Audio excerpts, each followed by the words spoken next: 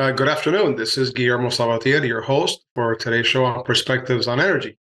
Uh, today we'll be discussing uh, some of the NERC exam questions. we we are going to go over through them and explain what the answers are. So, looking forward to uh, showing all of these in a few minutes.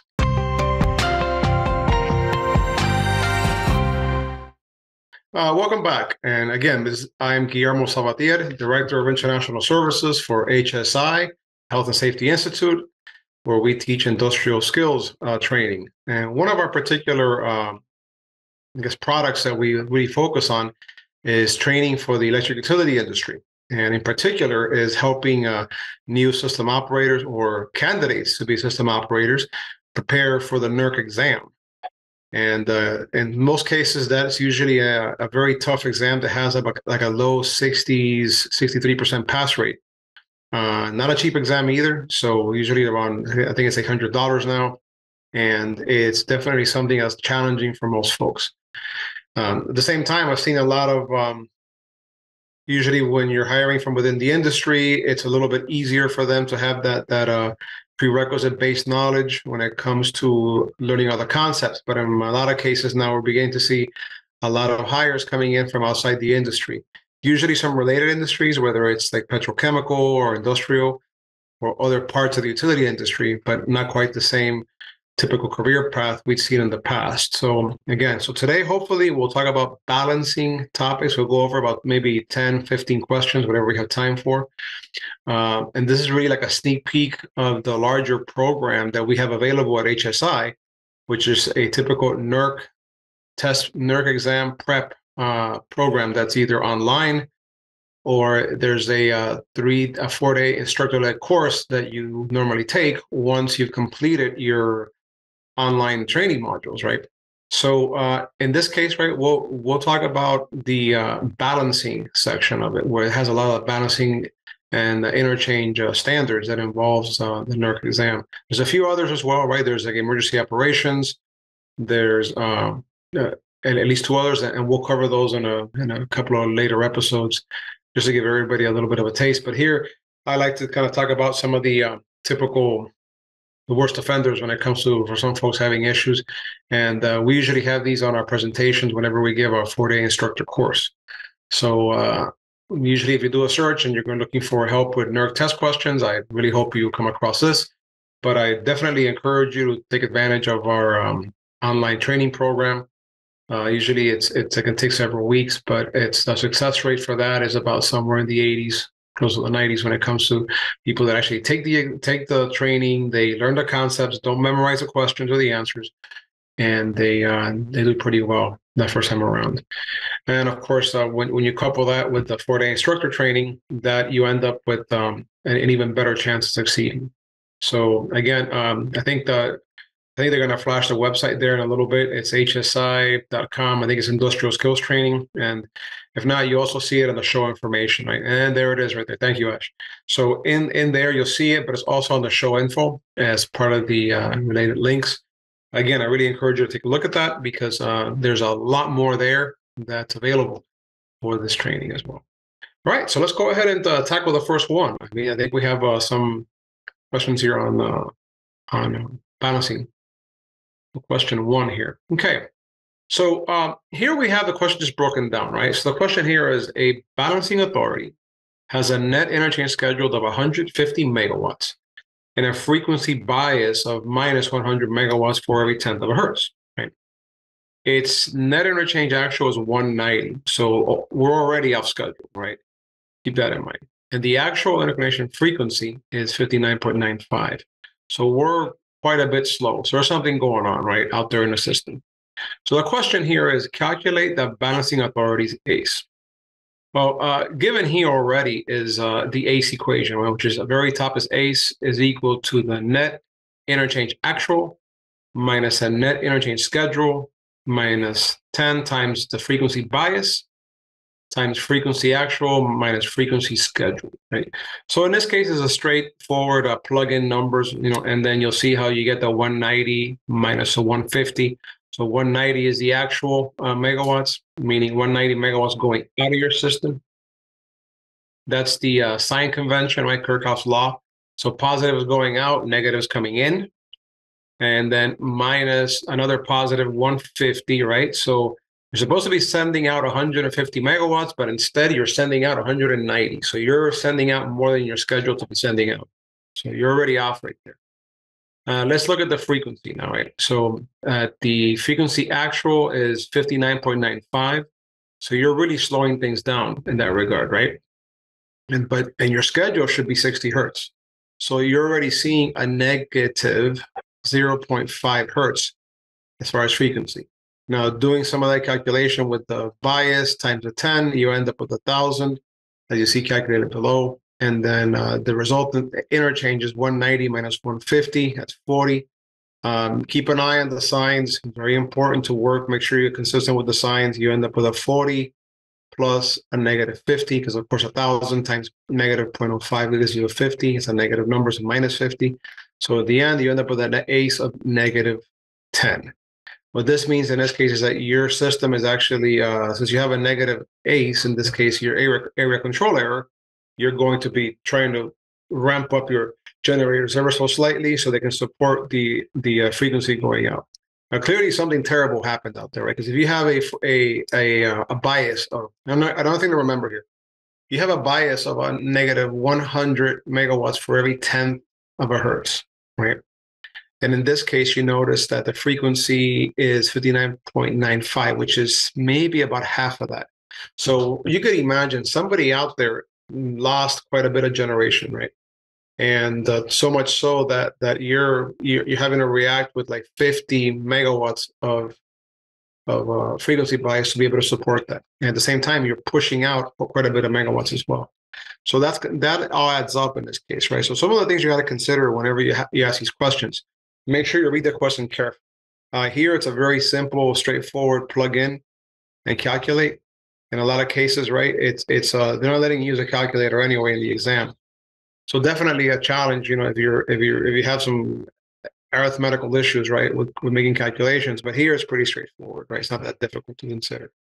And then again, they usually give you numbers that are factors of 10, right? Or pretty easy to subtract and add. So if the math gets too complicated, there's a good chance you're doing something wrong. That's another thing to consider in most of these uh, NERC exam questions. So again, this this came out of somebody's NERC exam, so they shared that with us as well. All right, Ash, let's go to the next one. Okay, so this other question we have, what is the balancing authority's ACE value with the following variables? So again, you're plugging it into the equation like we did last time, right? So same thing we did before. So you're looking at the, one thing to consider, right, is a net interchange actual and it's an energy schedule. Once again, you're over generating, right? You're you're pushing a lot more power out than you're supposed to, right? But the frequency at the same time is a little bit slower, right, than it needs to be. So once again, right, there's something happening outside your system. So uh, that frequency has slowed down considerably. So in this case, if you slow down, if you're actually slowing down outside of your system, and then you're you're supporting that frequency, with your own generation using your frequency bias, right, you're going to be pushing out about 95 megawatts. So in this case, your your ACE here is 95 megawatts. So what's going to happen, uh, and that's of course you plug in all those variables and you calculate ACE. What's happening here, of course, is that now you're over generating altogether by 95 megawatts. What would the generators do with an ACE that's positive 95? In this case, positive 95 means you're going to start pulsing down your generators. And once you begin to pulse down, that net interchange actual will come down quite a bit. And as you can see, it's almost like a 100 megawatts difference, right, in this case. And if it weren't for the fact that you're off by one hundredths of a hertz, right, in this case, it's like five megawatts. It was really consistent. So you look at the bias once again, it's 50 megawatts for a tenth of a hertz. So you, so if you reduce, if you reduce that order of magnitude by, by, by 10, you're looking at for, it'll be five megawatts for one hundredth of a hertz, which really adds up when you think about it, right? Because of the fact that you're looking at 95 megawatts in this case. So again, all these things, especially the ACE equation, has all these dynamic relationships that really is, is balancing one thing out with the other. And ideally, if the bias is set right um, for a disturbance happening outside your system, right, you really should you should have no effect on your ACE, right? Uh, you may end up, you know, pushing pushing power out. You may end up feeling the low frequency, but that itself balances out if you're given the right bias. Okay, Ash, thank you. Let's go to the next one. Here we go. For another, it's another example that falls along with that, right? So, so here you're doing a perfect job of maintaining a load resource balance and frequency is 60 hertz. You're doing a great job, right? 60 hertz is right where it needs to be. You're balancing generation and load. And then all of a sudden, a large generator in another balancing area trips offline and frequency drops to 59.9. So it's a, a whole tenth of a hertz, right? So if your bias is 50 megawatts for every tenth of a hertz, right, your A should be in this case is zero because in reality, right, you're not doing anything at this point yet. It's happening outside your system. So you're perfectly balanced, right? And notice that this thing dropped by one tenth of a hertz. So in this case, it's really easy to calculate. There's no need to calculate because really the, there's no net interchange difference. They know from the schedule interchange. In fact, they don't even give you the interchange scheduling numbers. So here, all you're doing is reacting right to that sudden change in frequency by your frequency bias, which of course a lot of it is governor action. And that's what's really happening in this particular example. So here you're only looking at 50, you know, 50 hertz uh, of of of uh, help, and you're and you're responding with that directly with your 50 hertz of frequency bias, which works out well in this case. All right. So um, let me see what we're looking at here. The next one here. So in this case, right, that it's it's it's and it also this frequency bias was set perfectly. And the way they say frequency bias is that they run a lot of studies over a year. Most balancing authorities do that by uh, looking at looking how, at and measuring how a system responds to different disturbances, or even how it responds to noise. And over time, they have a calculation right for. So usually, for example, for a 20,000 megawatt system, frequency bias can be anywhere between 200 or 250. Again, that all depends on the type of generators they have. Whether if if it's they have a lot of renewables, they may not have that that that much of a bias because those units don't change so much unless they have controllable uh, inverter-based resources if they have a lot of, of uh, combustion turbines that respond a lot quicker, then they may have the ability to do that. And don't forget also the the the fact that there's a lot of governor action involved, right? Usually they have that governor droop that would arrest a decay in frequency. So that also plays into into this particular dynamic. Okay, Ash, let's go ahead and go to the next one. Maybe question five, right? I think we have here. So balancing area Z Balancing area Z system operator knows that the interconnection frequency is 59.94. So that's that's slow. It's a 0.06 uh, slower than it needs to be. The system operator in balancing area Z also sees their ACE is zero, right? So which of the following could be the cause of these readings, right? So one of the things they're saying is a net overgeneration in balancing area Z to support frequency, right? And why is this happening, right? So if the frequency bias is set correctly, as I said, as I said earlier, you're basically you're over generating, but your ace should basically show zero in this case, and and and you're balancing your area perfectly. But remember, you're probably pushing power out, but you're also responding to that drop in frequency. So again, the ACE equation is since your bias is set so well, your your planning engineers did a great job. Now, you know, the ACE equation is, is working beautifully, and then you end up with an ace of zero, even though you're supporting system frequency rate. Okay. All right, Ash, let's go ahead and go to the next one, number six. Okay. Here's another one. All right, here we have the Nate the ace equation again, uh, and it's used in its full splendor once again. We, we have an when an interconnection balancing area operates with their AGC mode set to tie line bias, their ACE calculation will include which data? Okay, so tie line bias looks at both the net interchange, right, the interchange component, and it also looks at frequency component, right? So how does interchange get calculated on a balancing authority? Well, you got meters out there, tie line meters that are reading real-time instantaneous flow on all these tie lines. So when you have tie line bias, they really mean tie line and frequency bias, right? Because you're looking at both tie lines and frequency. Uh, and that's how the uh, ACE equation is calculated. Now, if you had, for example, free, flat frequency, right?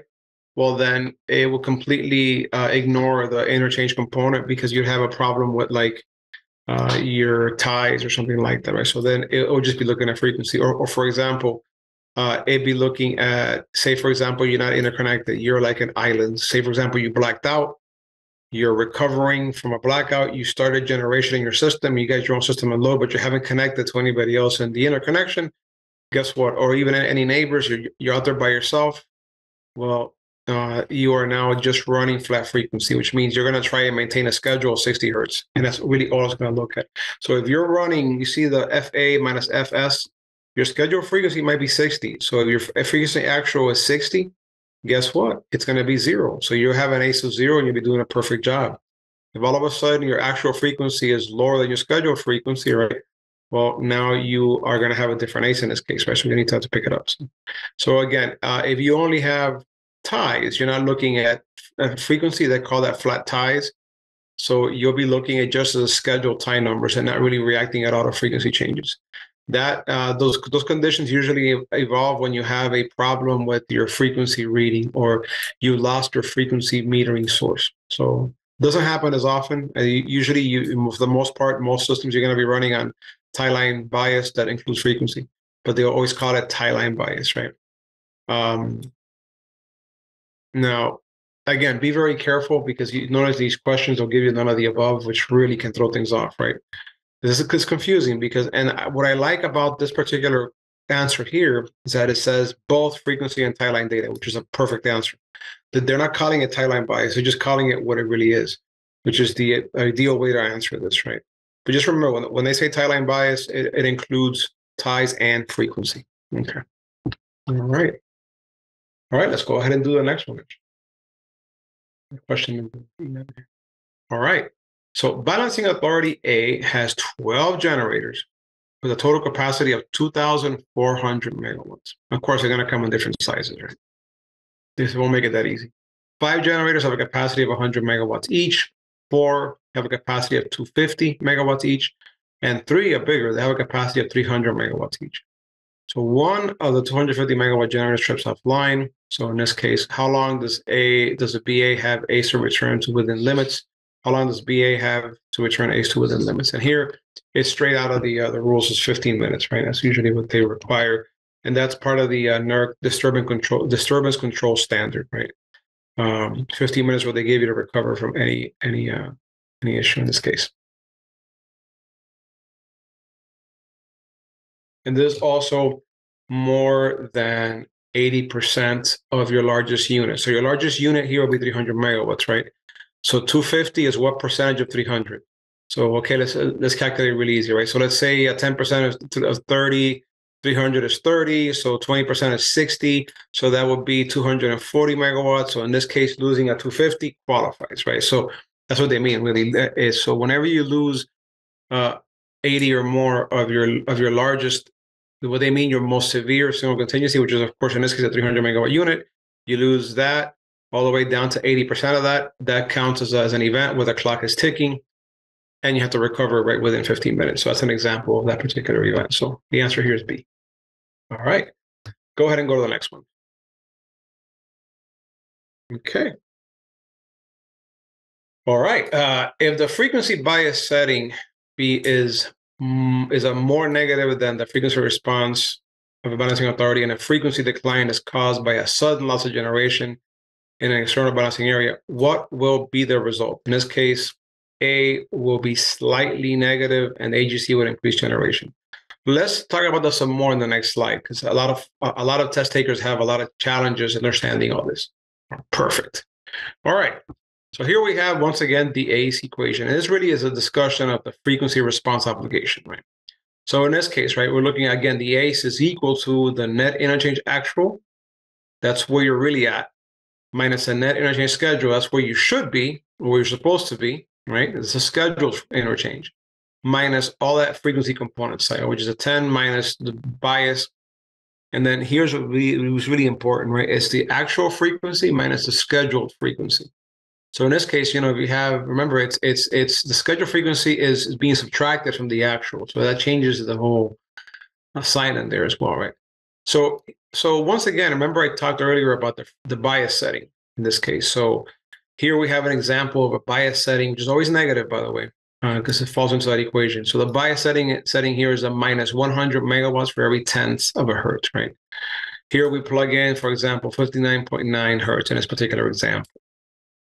Uh, and of course, the net energy schedule is zero. So they want you at zero schedule. You're not supposed to be buying or selling any power at on this particular moment, right? Usually scheduled every hour.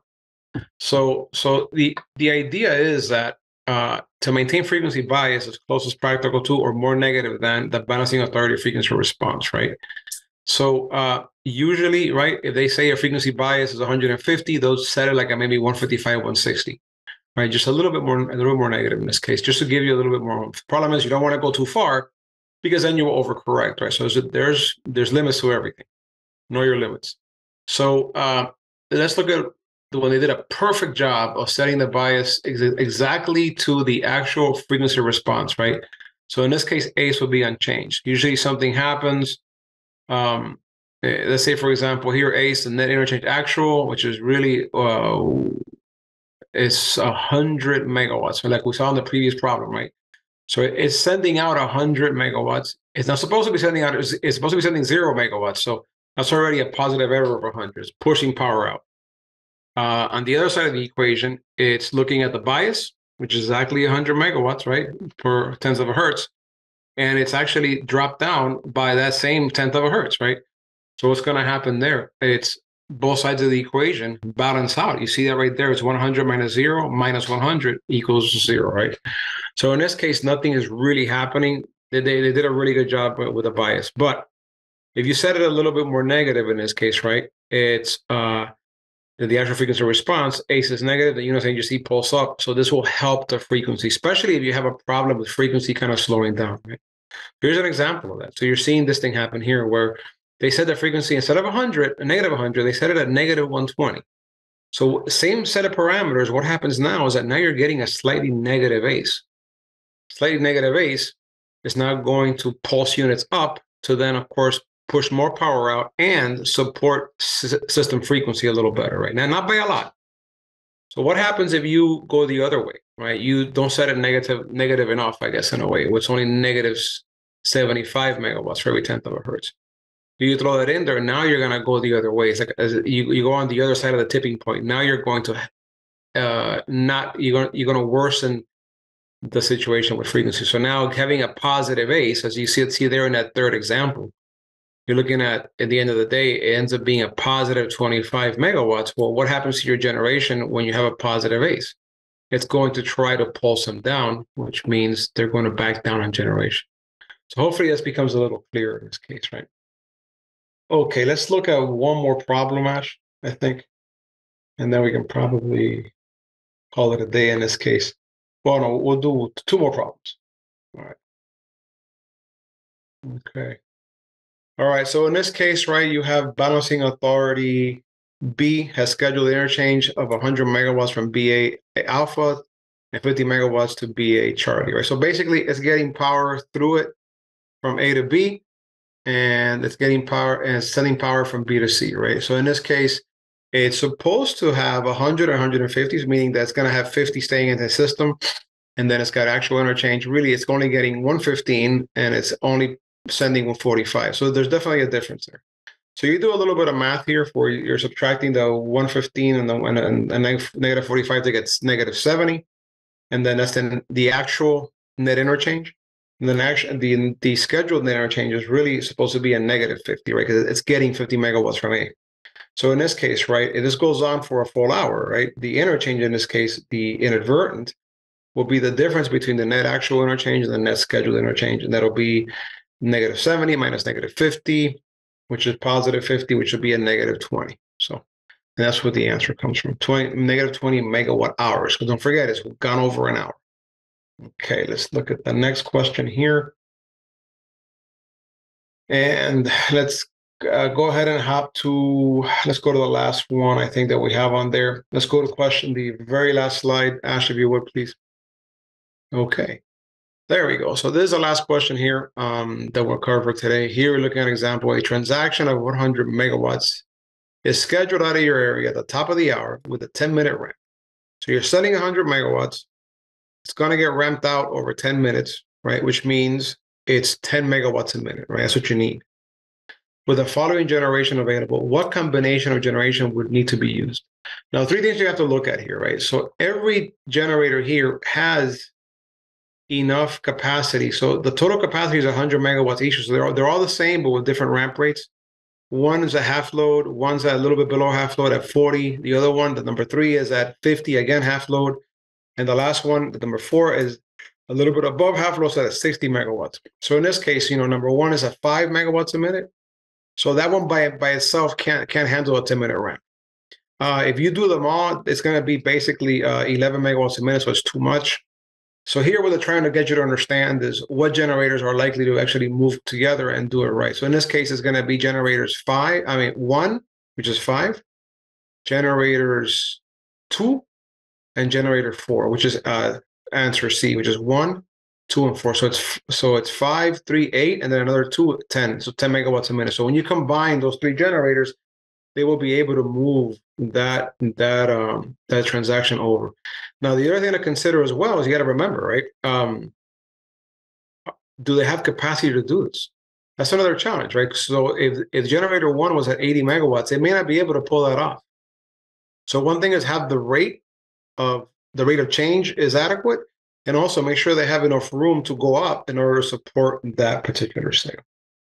Well, I think that's all the time we have for today. Uh, went over a few problems. Then again, this is definitely a uh, to give you a taste of what these exams look like. And this is just uh, one section, the balancing section. You got a few other sections as well: transmission operations, PNC, interchange, reliability, emergency ops. So, uh, in the coming weeks, we'll coming months, we'll, we'll we'll cover a few more of these. But again, this by no means is is comprehensive. You, I really encourage you to you know like like take some training to help you prepare for this properly because that exam is no joke. It's it's challenging for a lot of people, right? So um, again, uh, if you have any questions, go ahead and write down the comments below. Um, and also, please visit the HSI site that we have posted on there regarding uh, the the available resources for this particular training. Uh, that really encourage you to actually look into that because that can often make a difference between success or actually failing and having to wait 45 days to take the exam again. That's another thing. And then of course now you're now you're out 800 plus another hundred dollars, right? So again, thank you for your time. Um, best of luck on the exam. Uh, reach out to us if you have any questions. Uh, once again, thank you and have a wonderful afternoon.